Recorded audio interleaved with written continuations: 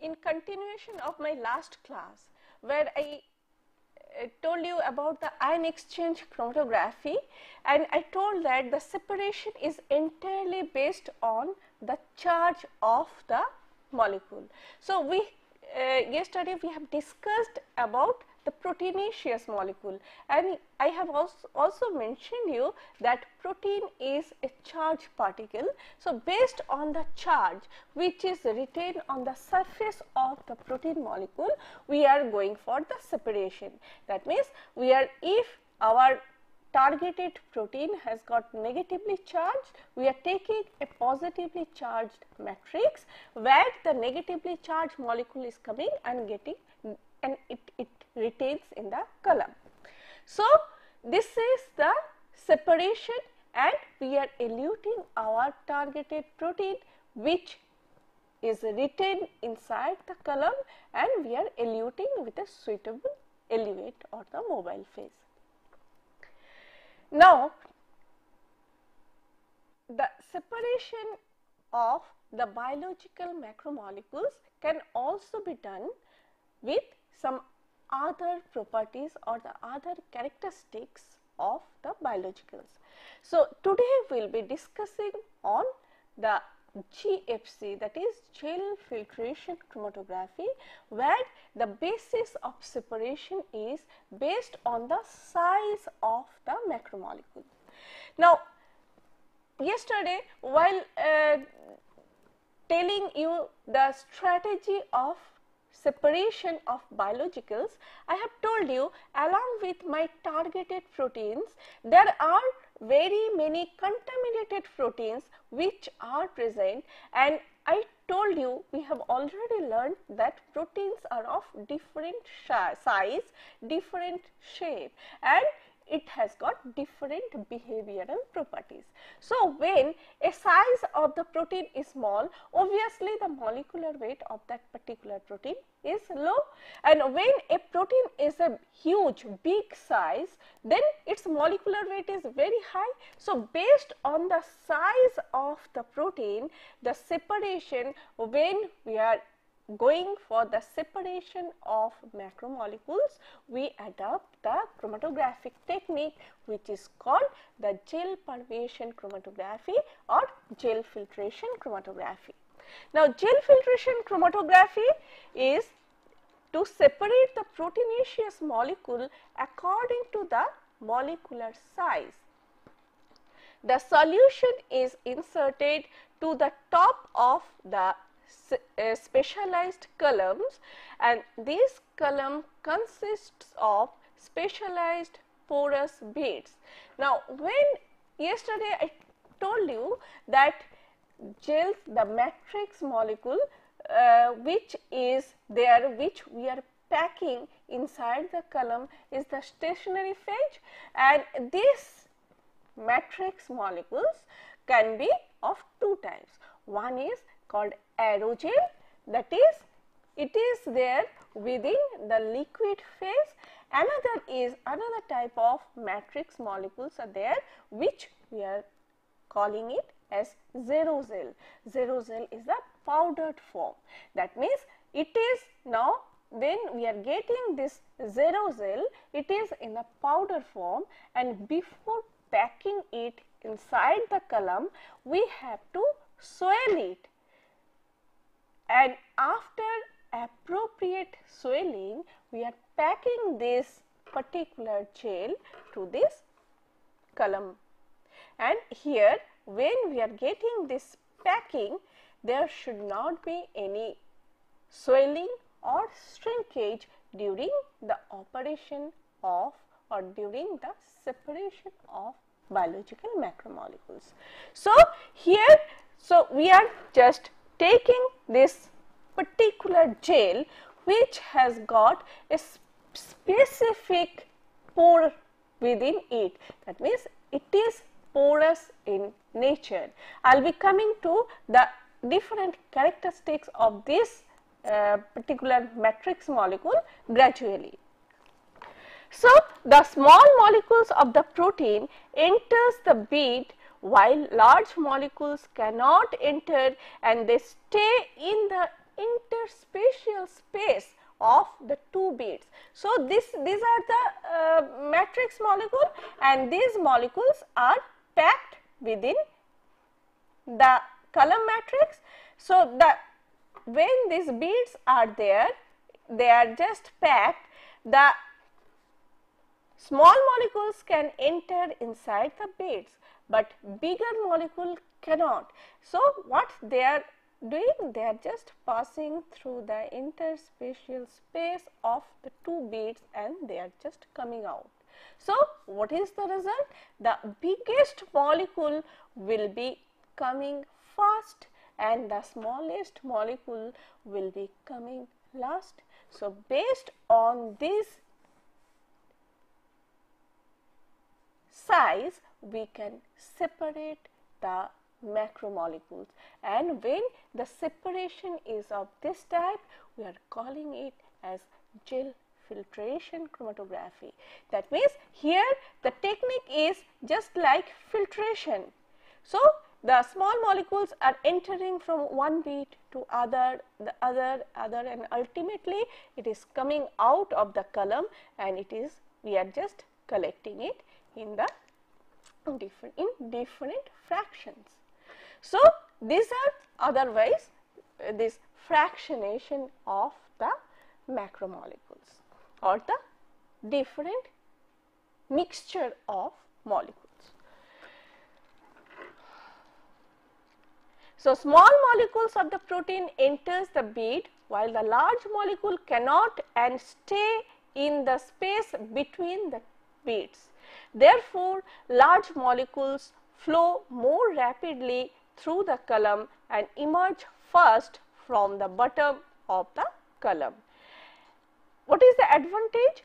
Advantage is that larger quantities of protein can be separated through this type of chromatographic techniques and the disadvantage of this particular process is that lower resolution is there.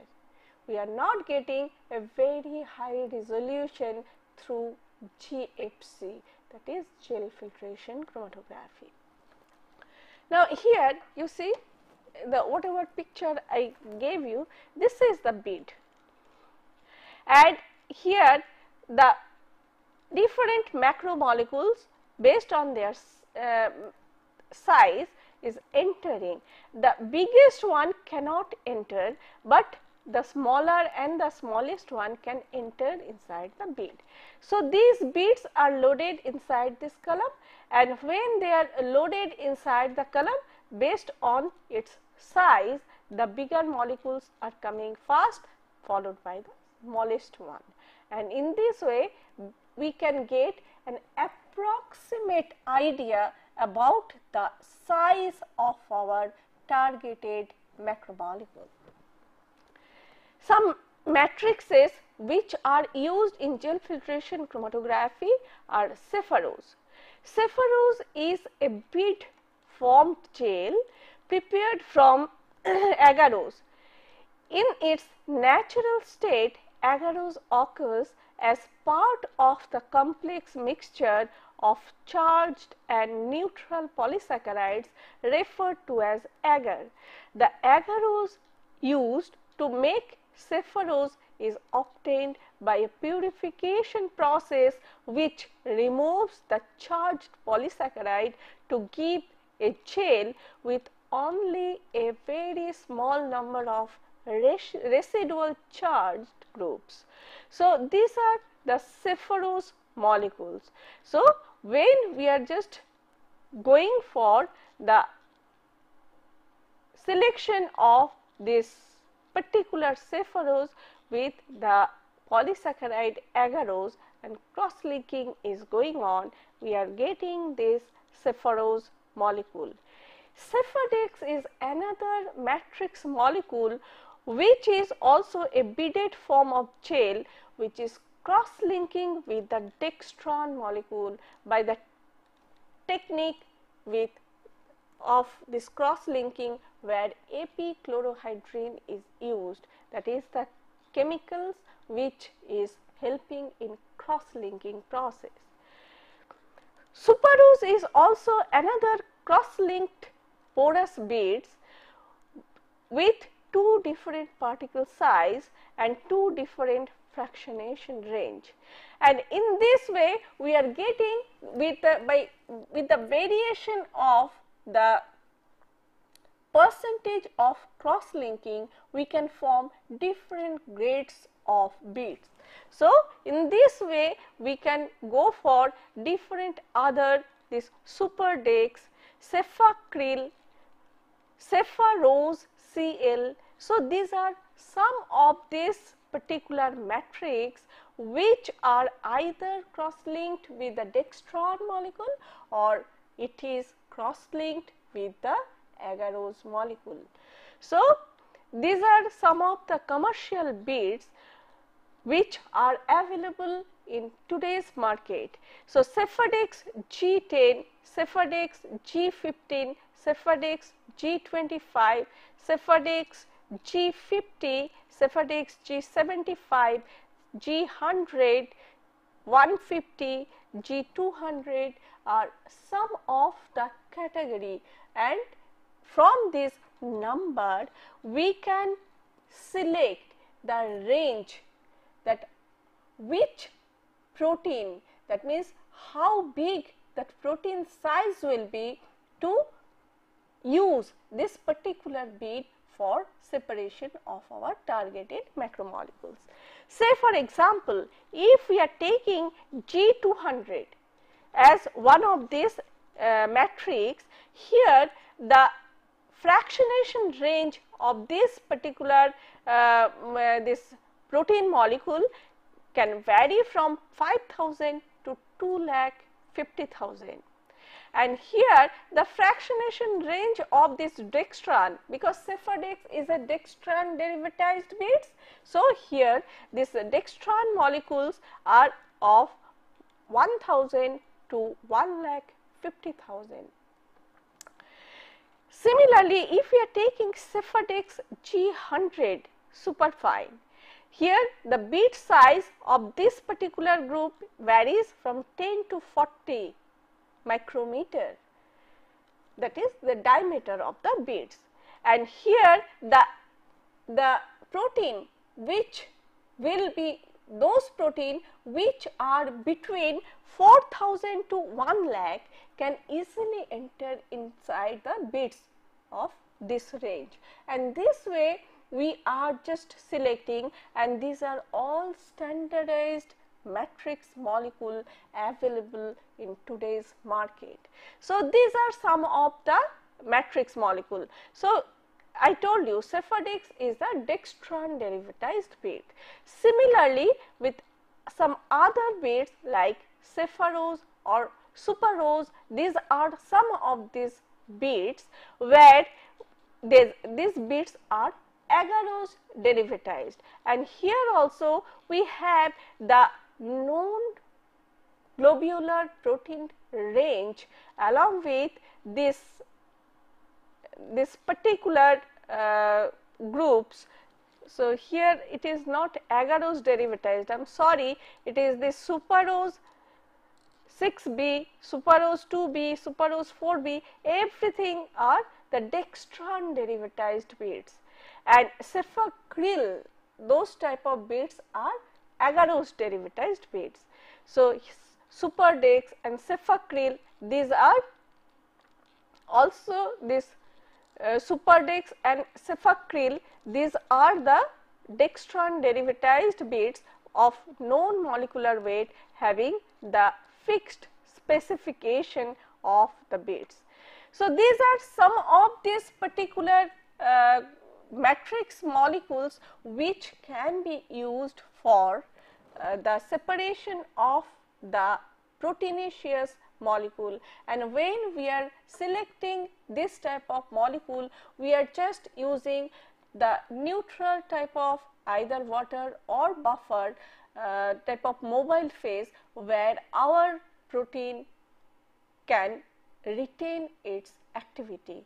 And this flow is taking place in a very very slow movement so that it can follow the the principle of filtration. So, through these beads from one bead to another to another and this way the filtration of this smaller smallest molecule to the biggest molecules are taking place and it takes a longer time to cross the beads and based and they are getting sufficient time to get themselves arranged within the column uh, while moving from top to bottom and then they are getting collected. So, we can get the approximate molecular weight. Now, if someone can question that when this separation is taking place, then sometimes gravity gravitational force may also play a significant role. So, what to do in that case? So, in that case we can pass the proteinaceous molecule from bottom of this column and we can take the fractions from the top to avoid the gravitational force. So, it can also be done and this process can be done continuously till these fractionations are coming. And this way based on the size of the macromolecules we can get the targeted protein out of this particular uh, column.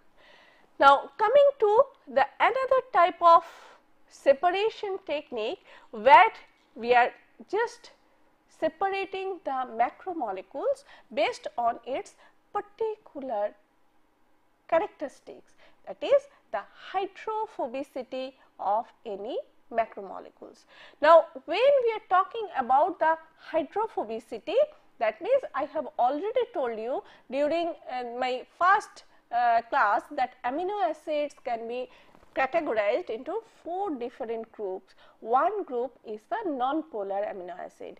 So, if in the protein molecule the percentage of non-polar amino acids are there, then this hydrophobicity is hydro they, they are hydrophobic in nature. Those particular amino acids has got the tendency that one amino acid can self associate with another and they form the aggregates. So, this way this aggregation is taking place and this association is called hydrophobic interaction. Now, the scientists they wanted to exploit this particular behavioral properties of this group of amino acids. So, now in a protein molecule if any uh, such amino acids are present, so they have their own properties characteristics that they are hydrophobic in nature that means aqueous phase is not at all a suitable media for them to get exposed to the outer environment. So, what is seen that most of the hydrophobic amino acids are buried inside. They are just coming and where and it is getting protected. That means when this 3d structure of the protein is there it is getting folded in such a way that hydrophobic molecules are trying to go inside and coverage is with the hydrophilic amino acids which are present in the molecules. So, when such type of association is there with one hydrophobic amino acid with another hydrophobic amino acid and when they self associate it is called hydrophobic interactions. So, the phenyl agarose is one of these matrix molecule where which can be used for hydrophobic interaction chromatography. The driving force for hydrophobic adsorption is there within the molecules itself. The water molecule surround the analyte and the binding surface. When a hydrophobic region of a biopolymer binds to the surface of a mildly hydrophobic stationary phase, hydrophilic water molecules are effectively released from the surrounding hydrophobic areas causing a thermodynamically favorable change in entropy and which is very very important as far as this type of association is there.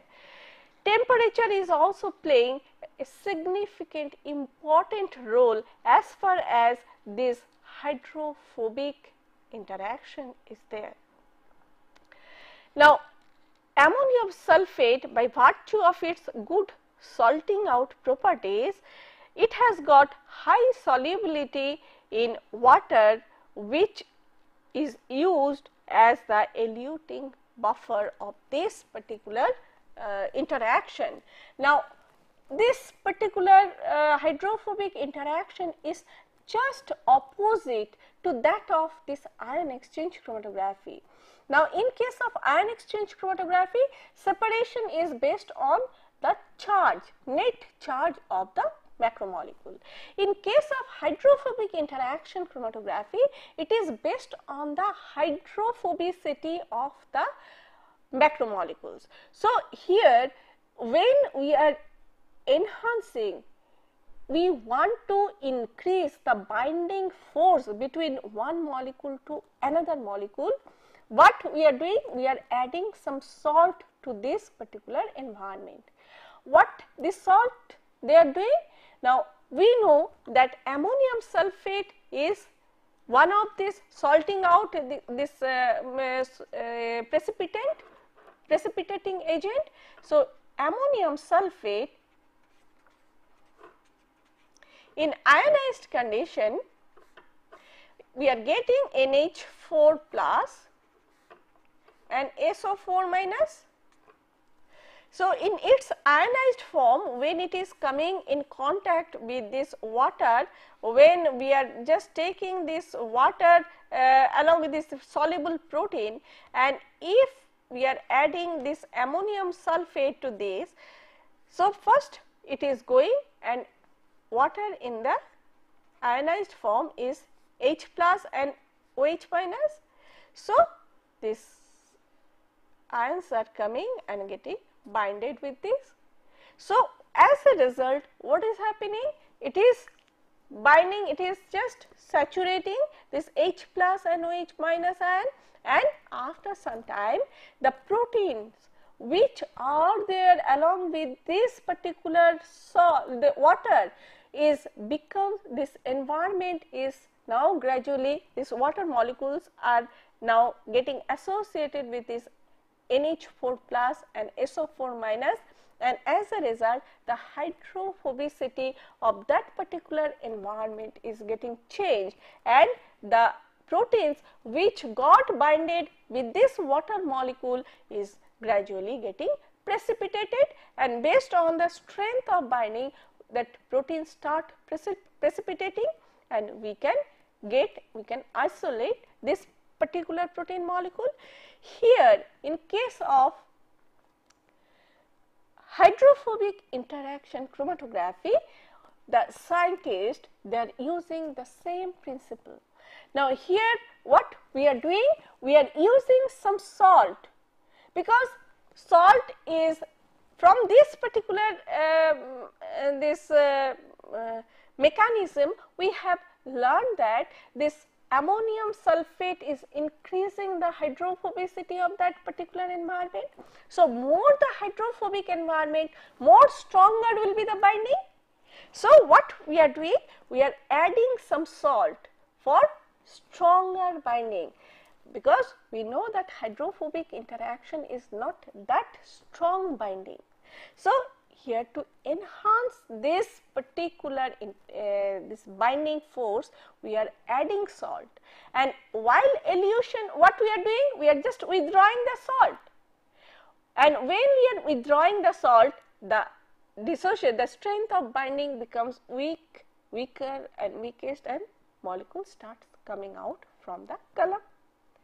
So, here if we are taking this phenyl agarose as one of the column, so during binding we are adding salt and during elution we are withdrawing the salt. It is just reverse to that of this ion exchange chromatography. In ion exchange chromatography what we did? We, we first added our protein molecules to the column and while elution we used NaCl that salt and it dragged the molecule out of this column and we isolated, we just separated our targeted protein. Here it is just opposite to that.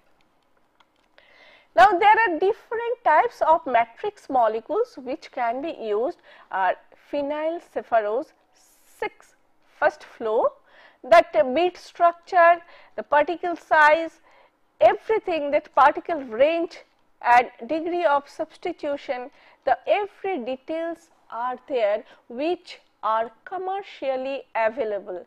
Not only this phenyl Sepharose, butylcephalose are also another matrix which are very popular as far as hydrophobic interaction is concerned.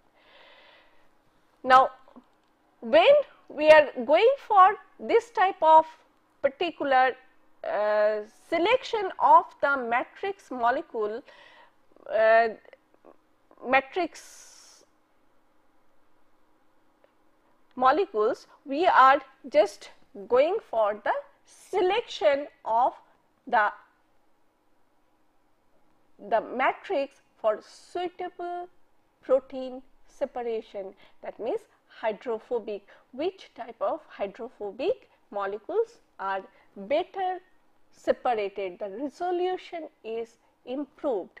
So based on that we are separating the macromolecules based on its particular biological characteristics that is the hydrophobicity. Now as I have told you earlier that affinity chromatography is a big umbrella and here when we are talking about this affinity chromatography it is the most powerful means of purifying proteinaceous molecule.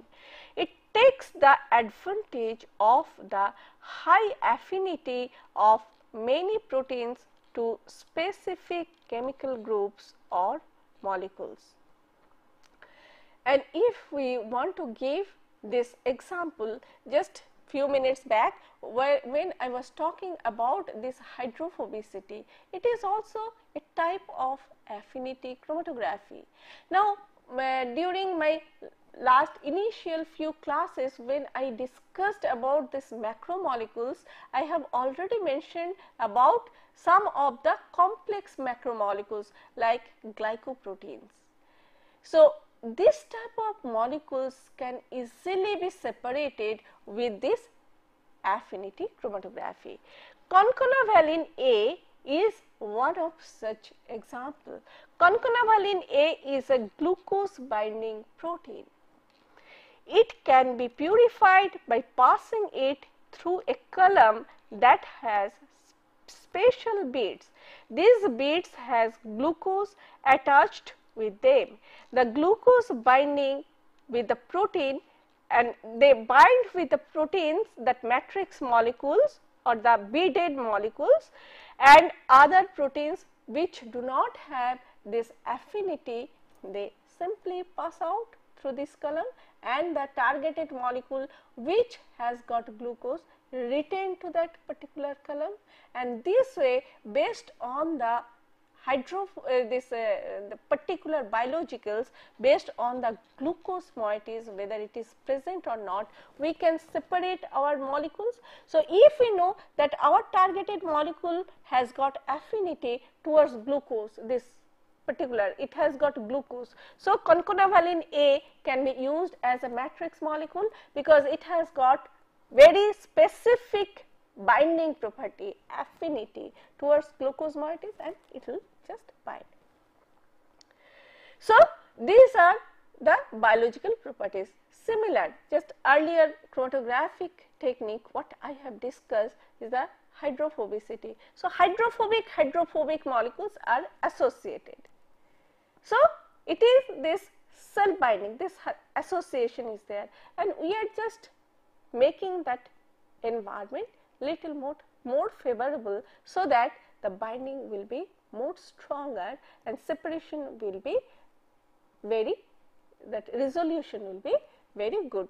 So, that is the understanding that is the, uh, the, the uh, selection process for this type of matrix for particular biological separation.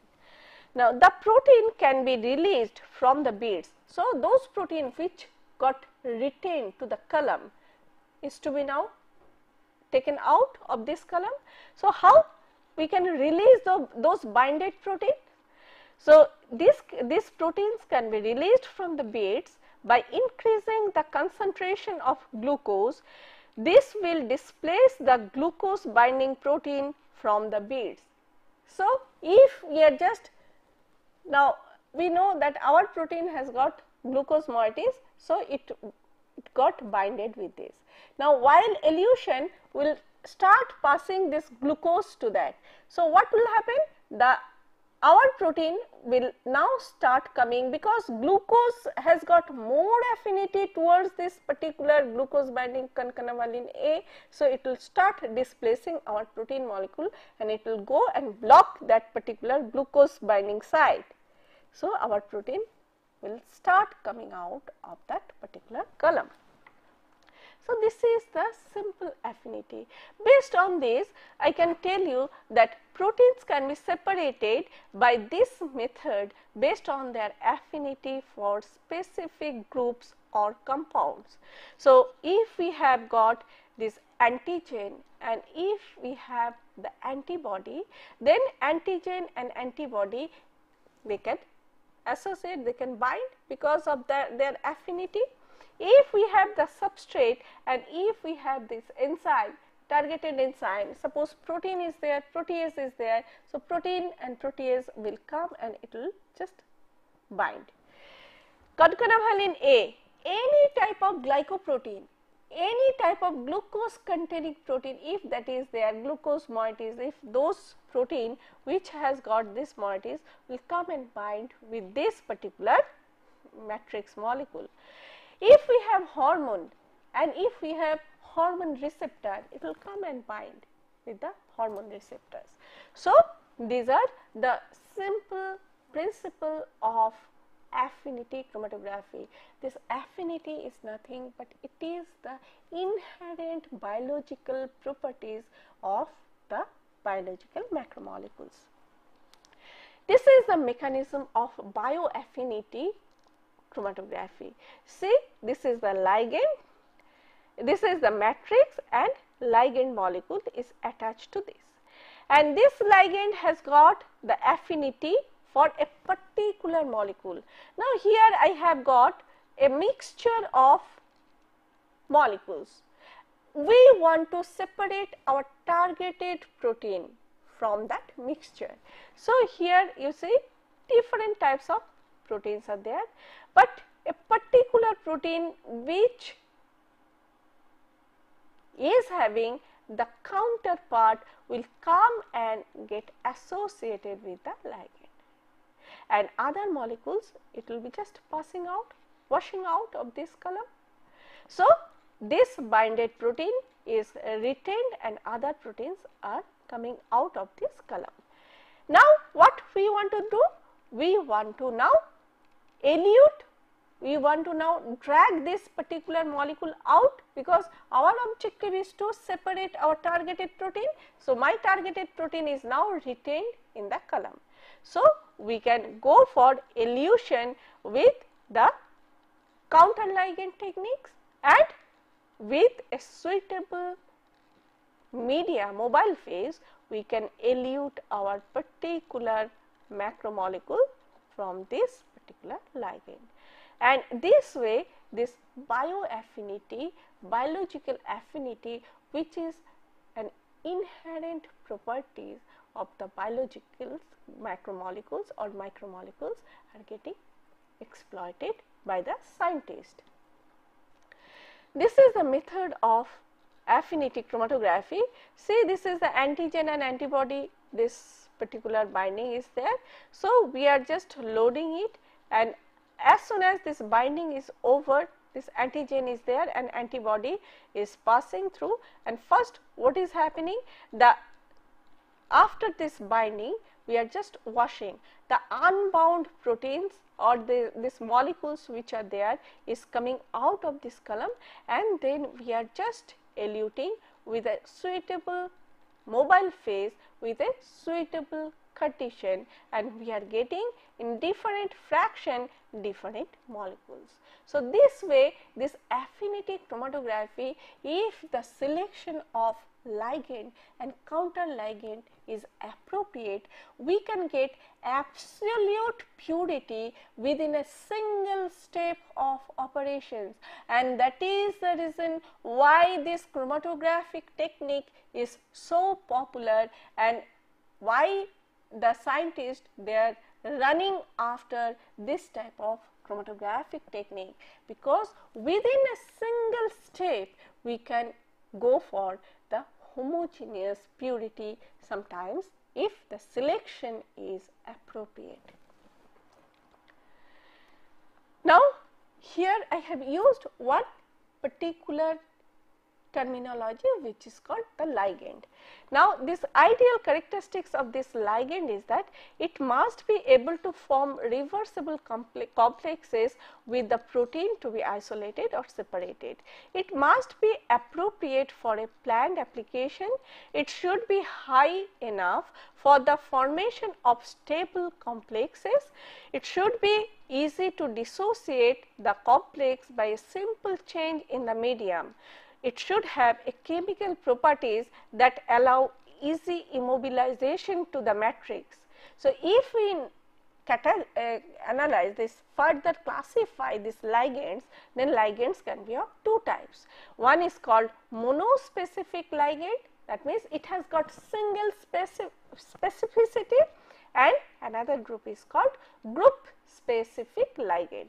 So, in monospecific ligand we can bind a single or a very small number of protein in any particular cell extract or body fluid.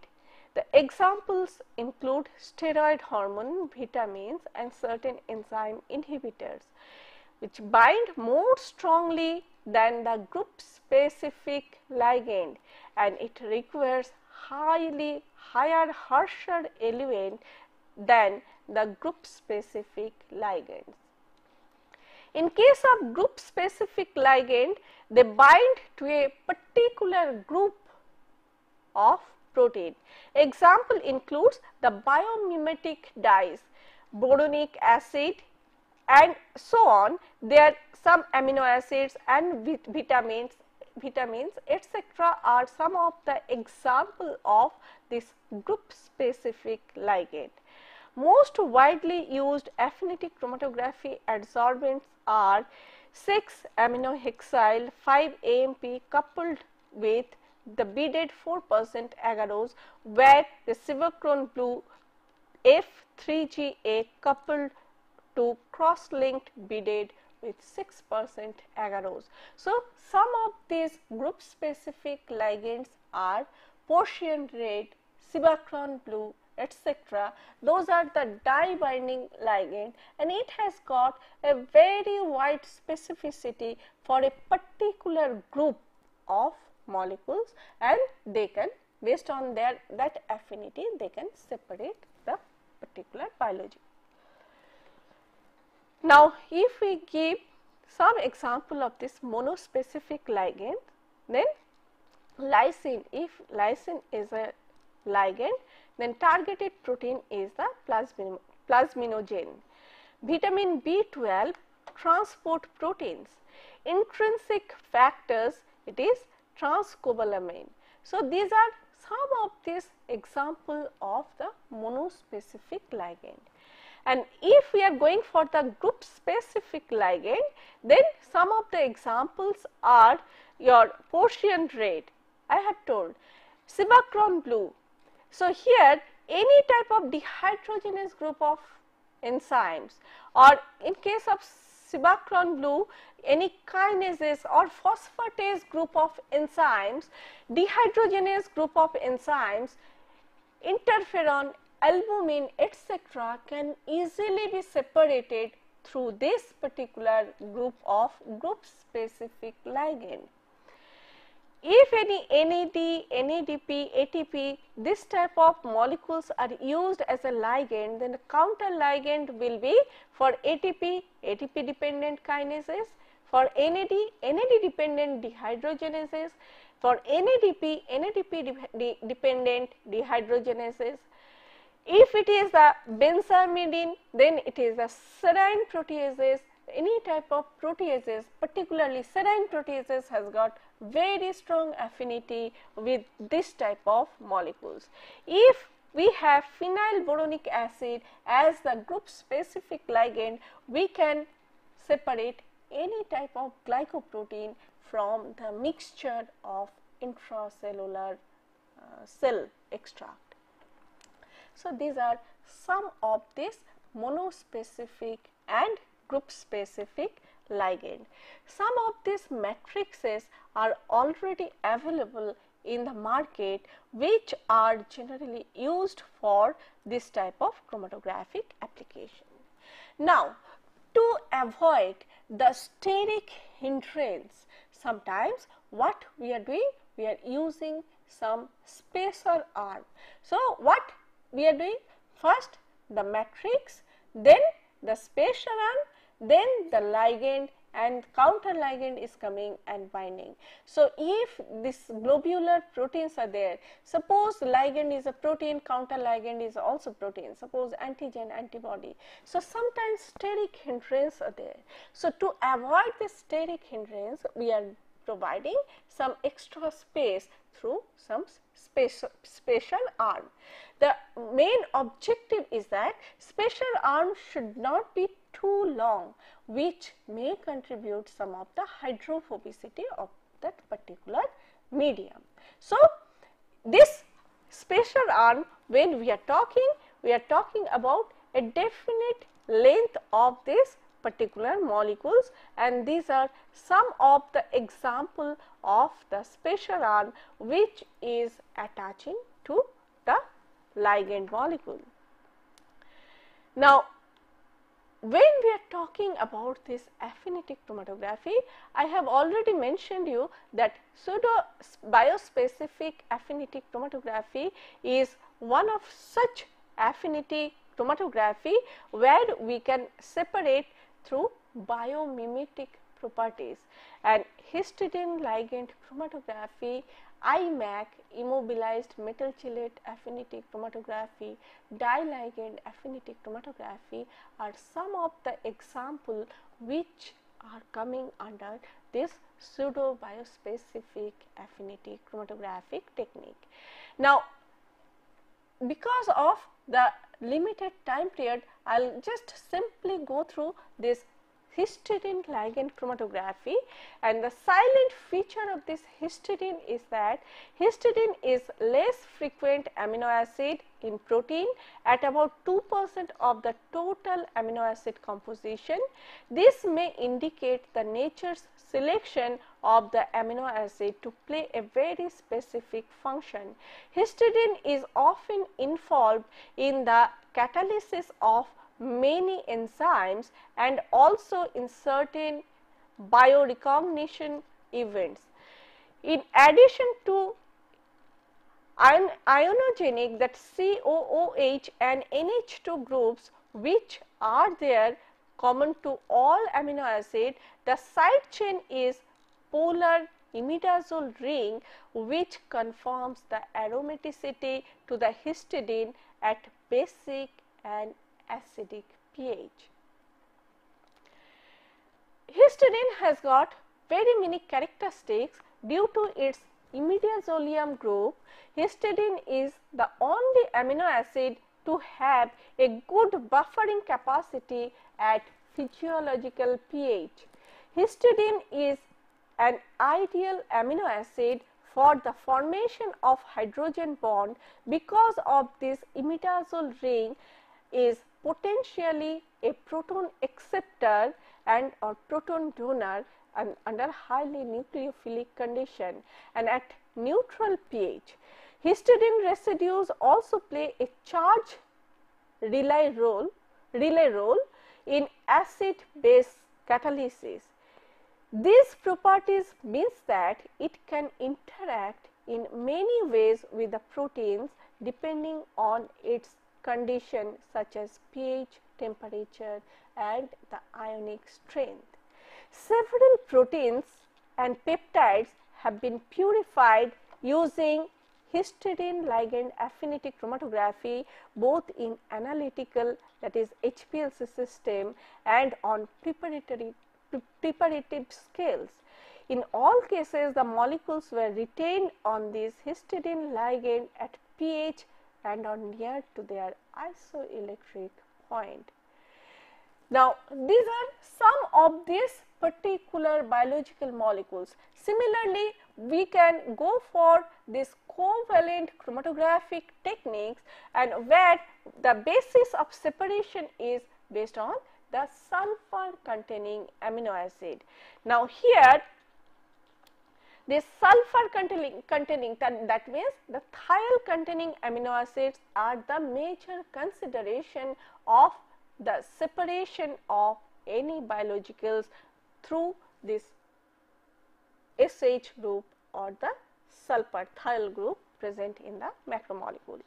Thiol disulfide exchange is a special form of alkylation which is used in covalent chromatography and this is the reaction you can see the addition of thiol. Now, suppose I do not have any thiol containing group in my protein, I can incorporate the thiol group to the, my particular protein provided if I find that with this new incorporation my protein is not getting denatured. So, this type of incorporation can also be done using this, take, uh, this chemicals that is SPDP that is N succinimidyl 1 2 pyridyl dithiopropionate. So, this, this is one of this chemical through which we can incorporate some of the thiol group to our uh, matrix this protein molecule. So, that it can come and thiol thiol this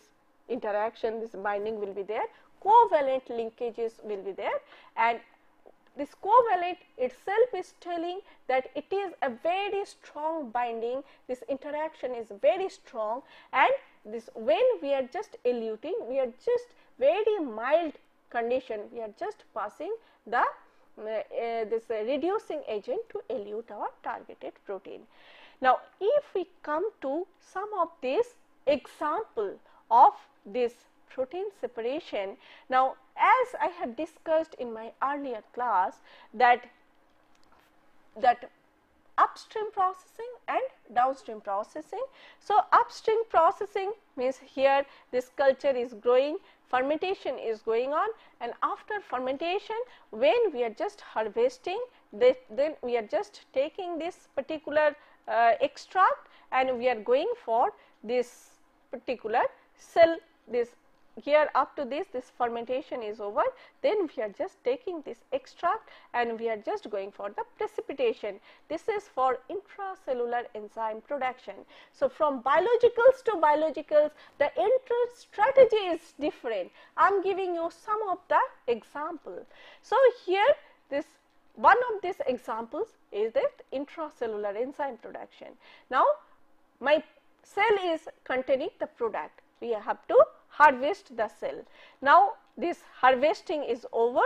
Now, I have got the cell extract. Now, we are will be going for the centrifugation and the cell debris which are there is getting removed. Now, here we are just going for the initial precipitation of this particular protein and then we are just taking the fractional precipitant and we are just going for this ultrafiltration with through which the selection further fractionation is taking place and then we are taking this broth to this chromatographic techniques and through this chromatographic technique further we are just fractionating this protein and then we are further going and we are going for this solvent precipitation and finally we are getting the enzyme which is concentrated. We are going for the dialysis to remove the excess unwanted solvent and we are going for this freeze drying and then finally we are going for the packaging of that particular intracellular enzyme. So, see here each and every unit operations we have used. So, starting from your extraction, this cell, cell disruption, that homogenization, centrifugation, ultrafiltration, precipitation, chromatographic techniques and then ultimately we have lyophilized the final product. So, each and every unit operation uh, is needed for purifying this type of intracellular enzyme. Now, if we are coming for this ethanol production, you just see the process is entirely different from that of this intracellular enzyme. Now, here we have the fermented broth. This broth contains this water and ethanol. Now, we want to extract the ethanol from water. So, this is the beer well. We are just passing it to this beer still. Now, here the stillage is there and we are just screening this and it is the rotary evaporator, rotary uh, vacuum evaporator is there and we are just drying it and we are getting the dried grains and the solubles which are there we are just spraying it and we are getting the dried solubles. Now, here this particular beer still which is undergoing this condensation and we are getting the concentrated little bit concentrated product which is called the whiskey. Now, if we want to further concentrate this particular product, we are once again putting this thing to this purifying column and from there rectifying columns are there and through this rectifying columns we are just condensation is going on and we are getting the neutral spirit. So, see here no chromatography, no unit separation, simply distillation is taking place. So, how one step is different from other, one biological separation is different from other biological separation.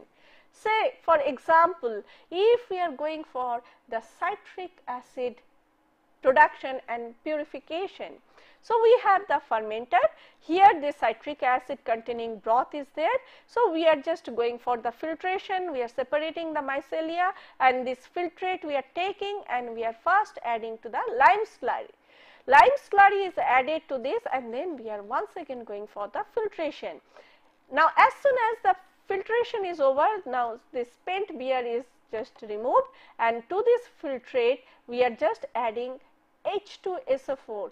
Now, acid is added and once again this it is undergoing the filtration process.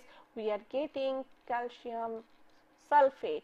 And this broth once again coming to this activated carbon this uh, bed. And then we are once again filtering it. We are just evaporating and crystallizing once again centrifuging and we are getting the dried product and we are going for the storage entirely different process of separation. So, I am just giving you one one example you can get some idea that how one product separation is different from another product. Let us take another example that purification of saponin molecules. So, now when we are going for this saponin molecules purification, we are just going for the separate, totally separate techniques, this adoption of the process. Now, here you see this is the milled uh, uh, this uh, grain and we are just taking this uh, particular uh, compound and we are just feeding it to the octyl Sepharose uh, column that is a hydrophobic interaction chromatography, we are just extracting it with 50 percent ethanol. We are separating the lipophilic fraction from the hydrophilic fraction. And then we are just going for the uh, another sp Sephadex column which is 50 percent ethanol. And we, uh, we are once again separating it to this cationic and anionic that neutral fraction followed by the QAE ion exchange chromatographic techniques. And when we are going for this QAE uh, bed that is ion exchanger beds we are just separating the the stronger anionic and weaker anionic groups and this from the weaker anionic group when once again we are passing it to the column we are getting the weaker anionic and neutral compound and this neutral compound is nothing but it is the saponin molecules along with some sugar.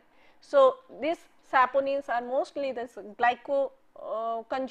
So, here some sugar and the saponin molecules are there.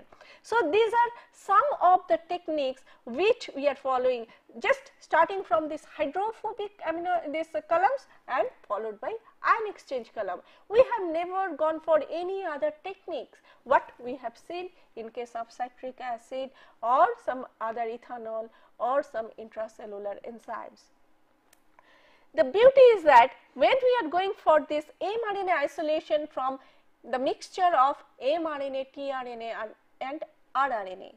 We know that mRNA has got poly A tail and if we are just going for the oligo dT tail then we are just just binding this A to T binding will be there. mRNA is getting separated. And tRNA and rRNA mixture is there. You just simply pass it through GFC column based on the size we can separate both the molecules out of this column. And with this I, I have tried to give you the particular behavioral characteristics of different macromolecules, different biologicals, it has got a definite characteristics. And if you have some idea, some knowledge about the targeted molecule, it is very very important and essential that what is the characteristics of our targeted particular biologicals we can design the downstream processing um, of that particular biologicals or we can we can fix the strategy of downstream processing. So, with this particular uh, example I think you have got some idea that how one biologicals are different from another and why there is no hard and fast rule for for separation of any particular biologicals with a particular uh, uh, this the, the procedure. It is you who will be deciding. And if you know the characteristics of this biologicals, it will be very easy for you to fix the strategy of biological separation. I think I have tried to give you some idea about the biological macromolecules. And with this particular idea, with this particular knowledge, you will be able to separate any biologicals what you want to separate in your future activities. Thank you very much.